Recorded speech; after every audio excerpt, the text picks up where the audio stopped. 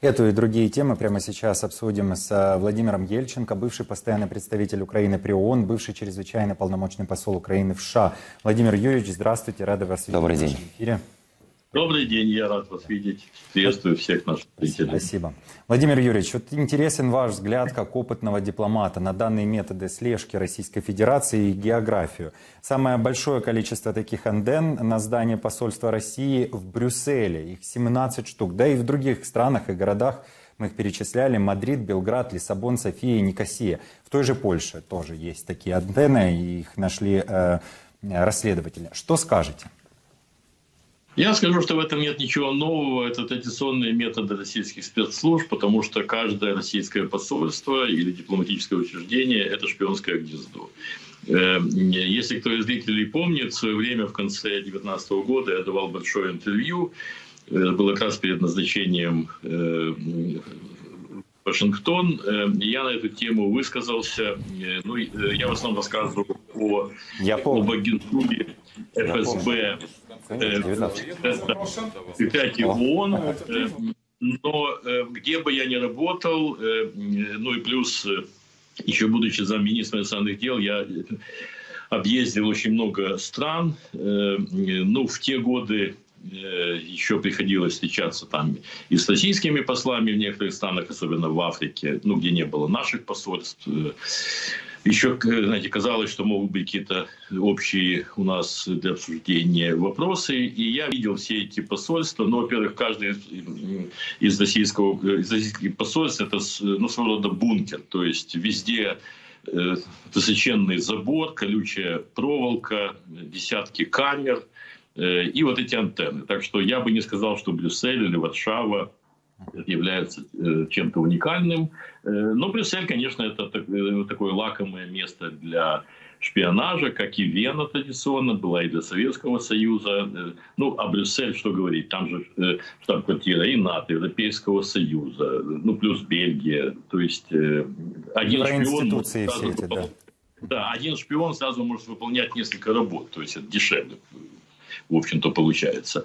Эм, так вот, в том интервью я сказал тогда, что э, не менее 50% персонала любого российского посольства – это агентура. Э, Причем это, э, знаете, различные спецслужбы. Это и Министерство обороны, ФСБ, конечно, и, и, и под прикрытием, и без прикрытия, ну, как, как раньше под крышей.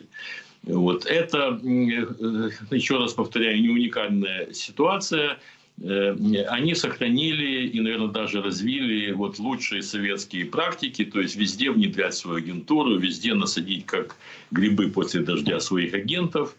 Э, им, конечно, есть чем заниматься, учитывая вот тот вектор внешней политики России, который она для себя выбрала. Но если э, в советское время, по крайней мере, за этим стояла какая-то идеология, то есть было понятно, для чего это все делается, то сегодня вот я это не понимаю вообще, какая идеология стоит за этим шпионажем, ну, кроме претензий на мировое господство, чтобы везде влезть, где только можно. Э, я недавно вспомнил о странах э, э, Африки, потому что там, конечно, шпионаж другого рода.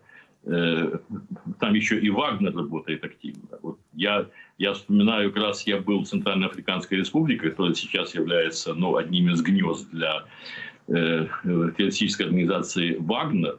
Э, я, кстати, там уже видел э, около посольства э, массу людей в военной форме. Я тогда не понимал, что это за люди. Э, это как раз, наверное, и были те самые вагнерцы. А почему я был в этом посольстве? Потому что во время членства в Совете Безопасности ООН я возглавлял комитет по санкциям против ЦАР.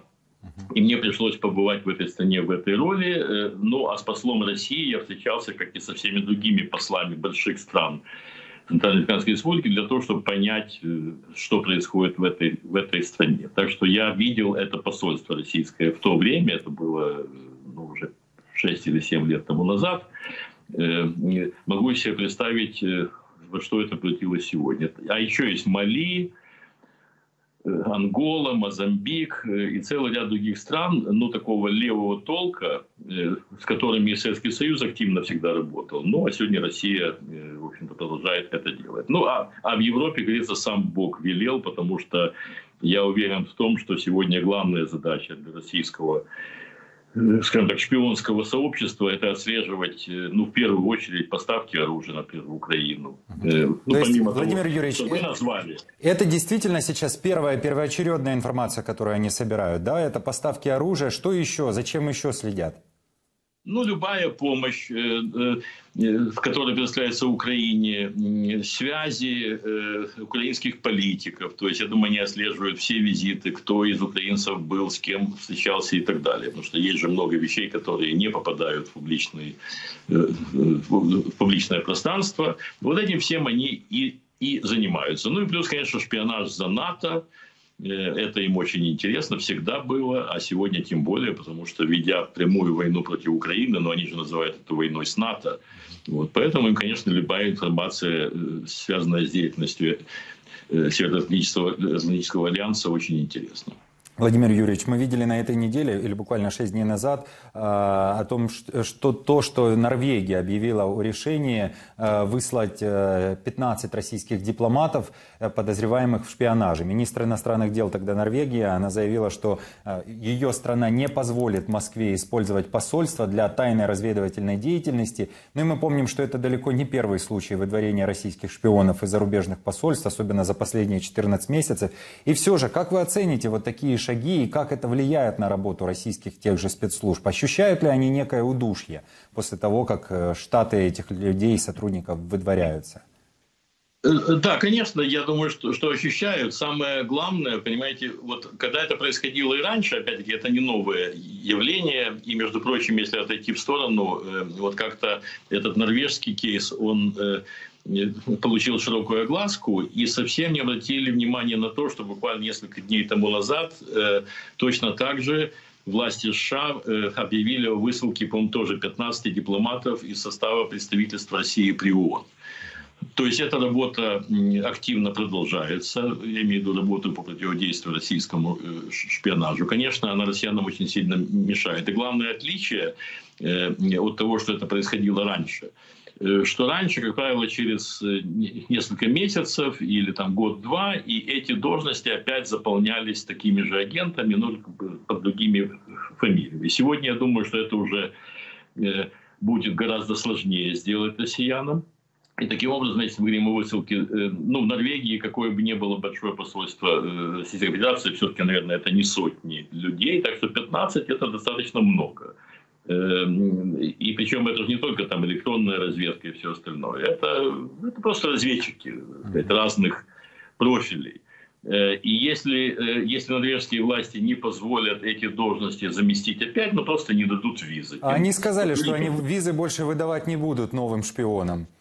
Вот, вот это, это как раз и хорошо, потому что, э, понимаете, ну, в любой стране мира, в принципе, ну, э, если не в любой, то в подавляющем большинстве крупных особенно стран, которые могут себе финансово это позволить, работают разведчики. Но, э, например, вот тоже посольство Украины в Вашингтоне – там есть военный аташат. Это люди из Министерства обороны. Э, ну, сегодня их работа особенно важна, естественно, учитывая то военное сотрудничество, которое у нас происходит с Соединенными Штатами.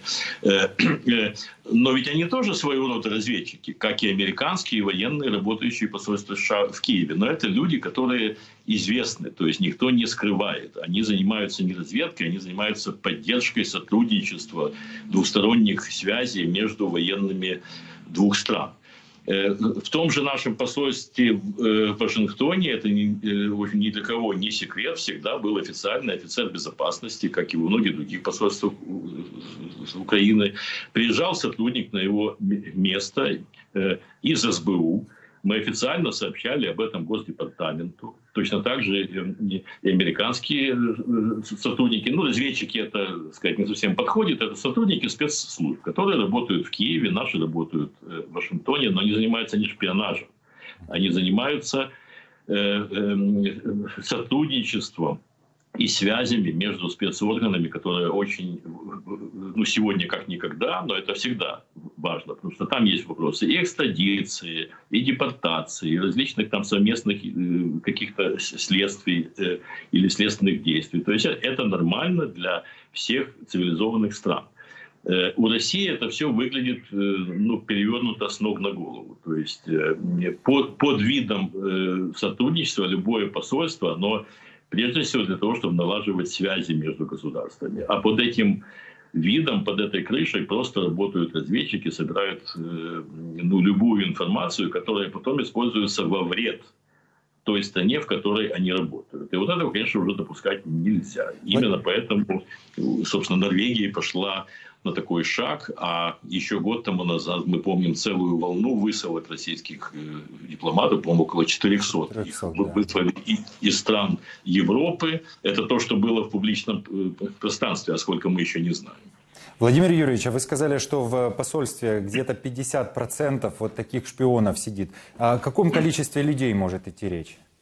Везде по-разному? Ну, ну, это, это зависит от размера посольства. Ну, вот, например, э, в поспредстве Российской Федерации при ООН в мои годы работало где-то 150-200 э, человек. Сейчас это, э, это число сильно уменьшилось после того, как американцы повысылали несколько этапов вот всех этих шпионов. Ну, еще не всех, наверное. Э, я думаю, что на сегодняшний день, наверное, там в два раза меньше работает людей. Ну, а э, я почему сказал не меньше половины, потому что еще, знаете, я с молодых лет работал э, и впоследствии тоже еще, ну, еще Украинская ССР при ООН, и тогда было последствия Советского Союза. Я с многих этих людей просто знал. Их, кстати, было очень легко отследить, потому что в советские времена Э, это было ни для кого не секретом, э, была проблема служебного сказать, транспорта. То есть ты приезжал, если ты молодой дипломат или младший, то тебе машина государственная не выдавалась. Но это прежде всего относилось к советскому представительству, потому что в представительстве Украинской ССР была, была одна или две машины вообще на всех. То есть у посла Э, и одна на, на всех остальных, включая там водителя и завхоза. То есть мы себе больше позволить просто не могли. Ну и сейчас тоже, в общем-то, не жируют наши дипломаты. Единственное, что просто э, э, многие стали покупать свои машины за свои деньги. Так вот, возвращаясь к этой теме. В те времена всем было известно, что, ну, скажем так, по бухгалтерским правилам, существовавшим в Советском Союзе, Э, право э, на обладание государственным автотранспортом имел только дипломат не ниже первого секретаря. И когда вы видите, что третий секретарь или атташе едет на прекрасной новой машине, значит, понятно, что это КГБ. То есть эти люди обеспечивались э, автотранспортом по полной программе. И это было полнейшая глупость, потому что это очень сильно помогало ФБР и ЦРУ их всех просто отслеживать, садиться им на хвост. То есть надо было даже особо следить. Если человек на такой машине едет, значит все понятно, потому что машина зарегистрирована на фамилию, на посольство, на поспредство. То есть все, вся информация есть. И если такой вот младший дипломат едет на работу из работы на такой машине, понятно, сказать, каким службам он, он относится. Так Наши что... люди на такси в Булошную не ездят, да? Да, да, да. Это, это как раз вот э, классический пример Да. Владимир Юрьевич, ну и э, мы видим такие действия со стороны да, и Европы, и Норвегии, высылают э, этих дипломатов. Россия тоже сейчас пытается демонстрировать свой оскал всячески. Э, на этой неделе было известно, что в Министерство иностранных дел России вызывали э, послов США, Великобритании и Канады. В российском МИДе говорят, что им не нравятся комментарии послов по поводу дичайшего приговора, который мы тоже видели. 25 лет колонии оппозиционному оппозиционному политику Кара Мурзе в Российской Федерации. 25 лет колонии – этот срок больше, чем был вынесен некоторым российским маньякам. И вот в российском МИДе вдруг говорят о том, что послы себя ведут не дипломатично. Как вы охарактеризуете такие претензии российского МИДа? Там ли говорить о дипломатичности? Это типичный хамский, такой циничный стиль современной российской дипломатии, к сожалению. Э, ну и, или, к счастью, поскольку все это приведет к полнейшему распаду этой дипломатической школы, когда-то она славилась на весь мир, действительно, ну даже советская дипломатическая школа, даже российская, еще старая Российская империя, э, но во всем мире считались э, с российскими дипломатами, их уважали. Сегодня они просто, мне кажется, роют сами себе могилу. То есть вот, вот этот стиль поведение, ну, с ними просто уже скоро никто не станет общаться. Ну, собственно, Лаврова уже сейчас принимают только в тех странах, которые, ну, к нашему сожалению, пока еще не поняли до конца, что такое сегодняшняя Россия, ну, та же Бразилия, например – вот. И э, еще целый ряд традиционных э, поклонников России, которые голосуют в ООН всегда с ними вместе. Но их осталось там, не знаю, по пальцам можно пересчитать. Э, а нормальные страны уже с Лавровым не общаются. Так вот, понимаете, вот эта школа, она превратилась просто в какую-то пародию на дипломатию. То есть, опять-таки, если Э, ну и над советскими дипломатами иногда, знаете, смеялись, когда они выступали там с трибуны ООН с призывами о мире во всем мире. Но, по крайней мере, знаете, за, этим, э, за этим всем стояла их внутренняя убежденность в том, что они правильно э, делают, потому что была идеология. Сегодня ничего этого нет.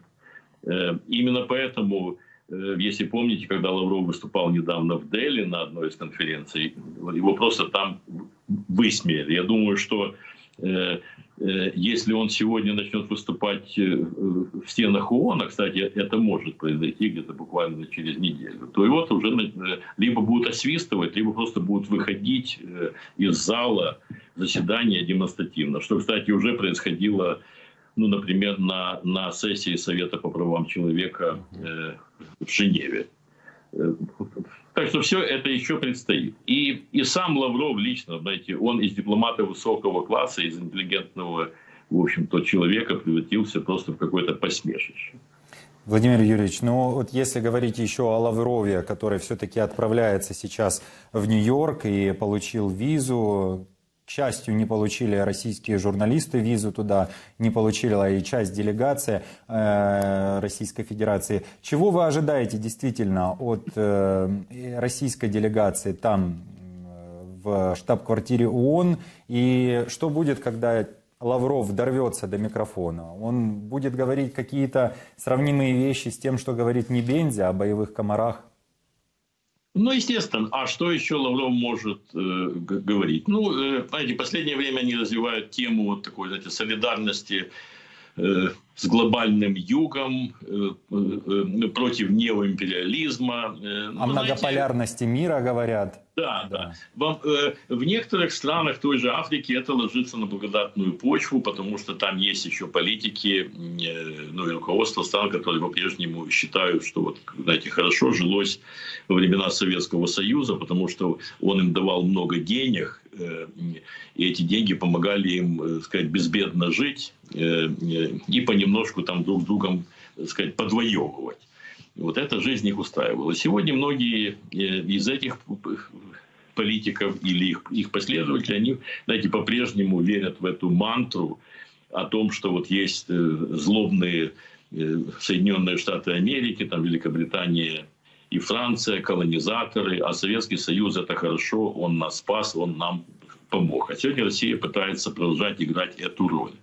Ну, а а по сути, я думаю, что ничего нового он не, не скажет. И, как я уже отметил, э, я, ожидаю, что будут э, некие демарши во время его выступления в Совете Безопасности ООН. Вот я слышал о том, что ну, есть уже такая определенная договоренность между послами, по крайней мере, западных стран, которые просто будут выходить из зала заседания во время выступления того же Лаврова. И, кстати говоря, Э, знаете, у нас многие не знают и как бы ну, с неким осуждением или удивлением относятся к тому, что американцы все-таки выдали Лаврову его делегации визы. Но все объясняется очень просто. Есть соглашение Э, между ООН и страной пребывания, то есть США, где находится штаб-квартира ООН, по которому э, американская власть обязана давать визы всем тем, кто едет э, на заседание Организации Объединенных Наций, будь то Совет Безопасности, Белассамблея или любой другой орган. Но есть определенные ограничения, я думаю, что они будут действовать и в случае с Лавровым. Например, американцы могут ограничить его передвижение по улицам Нью-Йорка только какими-то определенными маршрутами, то есть вот из посредства России до штаб-квартиры ООН и обратно. То есть на шопинг он на уже шопинг, может да, только и хотел. не попасть. Да, Владимир Юрьевич, а что вы скажете еще о том, что говорит Небензи? В частности, в одним э, из последних своих интервью он говорил, что э, без России в случае ее выдворения э, из ООН смысл потеряет в целом и работа Совета Безопасности, и в целом вообще существование ООН. И, ну и, конечно же, говорит, и, что выгнать Россию никогда не удастся никому, напоминая о том, что она правоприемница СССР, и, и все давным-давно признано. Знаете, это очень положительный факт, на мой взгляд, потому что это, насколько я понимаю, впервые, когда Небензи отреагировал на ту кампанию, которую Украина и наши союзники начали, ну, примерно там, полгода или чуть больше тому назад, по выдворению России э, из ООН вообще. Э, ранее Небензя на это не реагировал, то есть, э, ну, как бы, они не относились к этому серьезно, потому что не верили в то, что это реально, в общем-то, осуществить. А вот то, что он начал на это уже реагировать, говорит о том, что они, ну, еще не испугались, но уже поняли, что процесс пошел. Вот. И э, этот процесс подтверждается тем, что Россию, например, на недавних выборах, э, э, ну там была целая куча органов ООН, которые переизбираются там каждый год, и вот Россию не избрали никуда. Вместо нее избрали, э, ну, понимаете, существует такая так называемая восточноевропейская региональная группа, которая входит в более 20 стран, которая имеет определенную квоту на членство во всех органах ООН, ну, кроме Совета Безопасности, потому что там в России постоянное членство. Так вот, каждый год или каждые два года переизбираются страны, и у этой группы есть, допустим, одно, два, три места, э, ну, например, там комиссия по положению женщин. Ну, я условно говорю, их, там десятки. Э, так вот, э, например, претендовали на, на два места три страны, там Хорватия, Венгрия и Россия. Вот Хорватия и Венгрию избрали, Россию нет. И, и то же самое произошло еще ну, не менее чем в 10 других э, органах ООН. То есть их просто не избирают никуда. И это уже, в общем-то, даже не первый, а какой-то определенный очередной шаг э, к их полнейшей изоляции, которая должна привести, в конце концов, к их изгнанию из ООН, как страны, которая там незаконно занимает это место. Владимир Юрьевич, хочется вас э, еще поинтересоваться вашим мнением по поводу того, кто не делает как бы полной изоляции России, э, о Китае речь идет. Что вы скажете о новых контактах Москвы и Пекина? В частности, мы видели э, визит министра обороны КНР Ли Шанфу в Москву. Это сигнал кому и в целом о чем речь? Э, о чем это говорит? Я не думаю, что нам нужно сильно об этом визите беспокоиться, потому что ну, регулярные контакты между Э, силовыми или оборонными ведомствами России и Китая осуществляются уже много лет. Насколько я понимаю, э, ну, информации, конечно, у меня достаточно нет, но э, ну, вот из того, что я смог проанализировать, я думаю, что основная тема этого визита заключалась в ситуации на Дальнем Востоке и в Арктике. Потому что в Африке Россия э, пытается предпринять ряд таких агрессивных шагов или действий, которые э, ну, это то, что она давно уже затевала, то есть э, ну, поставить под свой контроль вот те мореходные пути, которые там существуют, плюс там же э, район очень богатый энергоносителями, их сегодня добывать очень сложно, э, ну, технически технологически, но придет э, время, когда это можно будет, а кто владеет энергоресурсами, тот владеет миром. Вот Россия сейчас и пытается, и Китай активно тоже подключается, хотя он не имеет выхода э, со своей территории э, прямого э, в Арктику, но он там активно развивает и, и строит ледоколы, и строит специальные суда, и флот, который позволит Китаю тоже там работать активно. Вот, я думаю, это была одна из тем, потому что все это нужно охранять, оборонять и так далее. Ну и как бы демонстрировать свое присутствие. И плюс я думаю, это вопросы и связанные с Тайванем, и ситуацией в Южно-Китайском море, э, Потому что все-таки эти страны соседи, и как раз вот тот регион дальневосточный, это их соседство. И все, что там происходит, э, безусловно, волнует э, и Россию, и Китай. Так что я думаю, они там о чем-то и договаривались. Я не хочу сказать, что Украина вообще отсутствовала в этих переговорах как тема. Но, но, но то, что, э, то, что Китай Мы уже видим, что прошло много, э, достаточно времени после визита господина Си в Москву, и так никакого китайского оружия, э, которое бы поставилось России, мы не увидели. Так что я думаю, что Китай будет, в общем-то, придерживаться вот такой вот ну, нейтрально-позитивной линии, то есть на словах Россию поддерживать, ну а на деле ничего особенного не предпринимать.